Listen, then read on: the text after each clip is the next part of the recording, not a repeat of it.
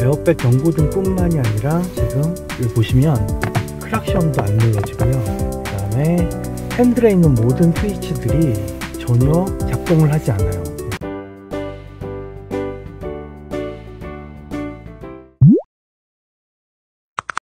모노아이 TV 안녕하세요. 모노아이TV입니다.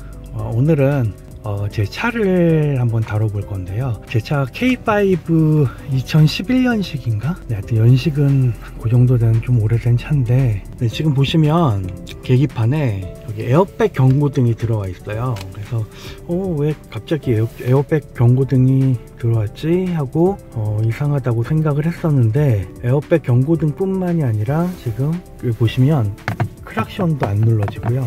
그 다음에 핸들에 있는 모든 스위치들이 전혀 작동을 하지 않아요. 네, 아무것도 먹질 않습니다. 그래서 이거를 지금 수리하려고 카센터에 가려고 하는 거예요. 제가 생각하기에는 뭐 여기저기 찾아보니까 이 핸들 안에 어, clock spring이라는 게 들어있대요. 그래서 그 스프링이 어, 노후가 되면 이런 현상이 발생할 수 있다 그래서 예, 지금 네, 수리를 하러 갈 거고요 네, 지금 그래서 고치러 왔어요. 제가 20년 넘게 다니던 카센터예요.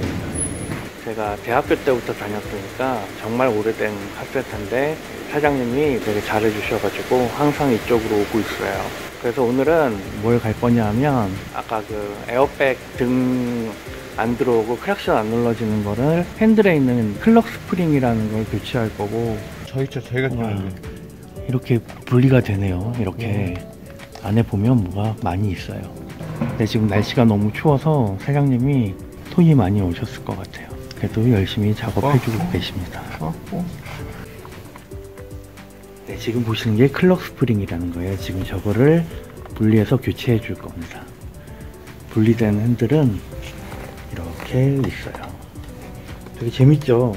아, 요 녀석이 문제였던 거예요. 이게 clock spring이라는 건데, 네, 요 부품이 문제였었습니다. 아무튼, 네, 분리 무사히 하고, 새로 교체를 합니다. 물론 순정 부품이에요.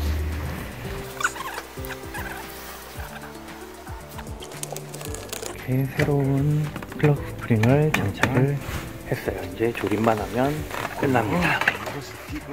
이렇게 새 걸로 탈바꿈 됐습니다.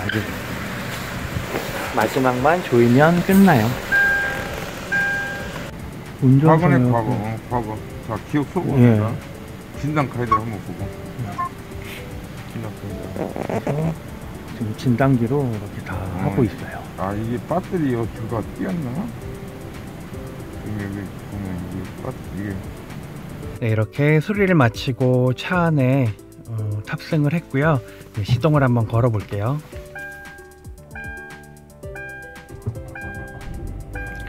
시동 역시 잘 걸리죠. 걸리고 지금 보시면 여기 안전벨트 경고등만 들어왔어요. 안전벨트를 매도록 하겠습니다. 네, 안전벨트 맸고요. 지금 보시면 여기 아까 에어백 경고등이 예, 완전히 사라진 거 보실 수 있으시죠? 네, 특별한 경고등 없이 예, 모든 게 정상적입니다. 네, 아까 핸들에 어, 스위치들이 전부 다 아무것도 좀 작동을 하지 않았었는데 한번 작동을 시켜 볼까요? 여기 트립 버튼을 누르면 이렇게 주행거리도 바뀌고 외기온도 이런 모드가 바뀌죠. 네, 이렇게 바뀌는 거 보실 수 있고요. 그 다음에 뭐 모드 네, 이런 식으로 예, 핸들에 있는 이런 스위치들도 다 작동하는 걸 볼 수 있습니다. 어, 크락션도 작동을 하는 걸 확인을 했는데 지금 주차장이라서 사람들 놀랄까봐 시연은 못 해드릴 것 같아요. 그리고 뭐 휴대폰 연결하면 뭐 이렇게 일단 모드들이 다 작동한다는 거를 보여드리기 위해서 찍는 거예요 네 이렇게 완료가 됐습니다 앞서서 제가 찍어서 보여드린 것처럼 음, K5에만 한정된 건 아니에요 아마 현대 기아차들인 경우에는 아니면 모든 차에 다 적용이 될 수 있을지 모르겠지만 네, 에어백 경고등이 들어오면 이 핸들 내부, 내부에 들어있는 clock spring을 그 교체해 주시면 네, 손쉽게 해결됩니다. 일반적인 카센터 가시면 아마 기종에 따라서 물론 다르긴 할 거지만 한 5만원에서 6만원 공임 포함해서 한 5만원에서 6만원 정도 주시면 어, 손쉽게 clock spring을 교체해 주실 거라고 믿습니다. 어, 저는 오랫동안 자주 갔던 카센터가 있어서 그거보다 조금 더 아주 조금 더 싸게 하긴 했는데 큰 차이는 없어요. 어, 만약에 5, 5, 6만원 이상 부르시는 카센터가 있으시다면 음, 글쎄요 거래를 한번 재고해 보시는 것도 괜찮을 것 같네요 여기저기 알아보시고 최대한 저렴하게 저와 같은 동일한 문제가 발생하시면 어, 당황하지 마시고 돈 많이 안 드니까 얼른 바꾸세요. 크락션이 안 눌러지면 제가 한 일주일 정도를 몰아봤는데 안전상에 확실히 문제가 있습니다. 차선을 갑자기 들어온다라든지 그런 차량들이 간혹 있는데 경고를 할 수가 없잖아요. 어, 사고랑도 직접적으로 연결이 되니까 어, 조심하셔서 안전운전 하시기 바랍니다.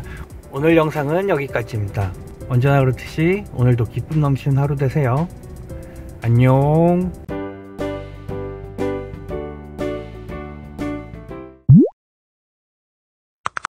모노아이 TV